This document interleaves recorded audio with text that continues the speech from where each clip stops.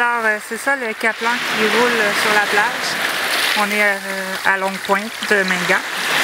Puis euh, ben, j'avais promis à une amie que je viendrais lui ramasser du caplan. Alors voilà le caplan qui roule. Wow. Focus. Donc il y en a à profusion. C'est la pêche probablement la plus facile à faire. On peut en attraper des dizaines à main nue sans problème. là, ben, j'ai arrêté fermer la lumière, arrêter de les éclairer parce que ça les fait fuir la lumière. Ça serait dommage euh, de les empêcher de se reproduire. Puis ben, ça fait en sorte aussi qu'il y en a euh, des dizaines qui meurent sur la plage euh, après s'être reproduits.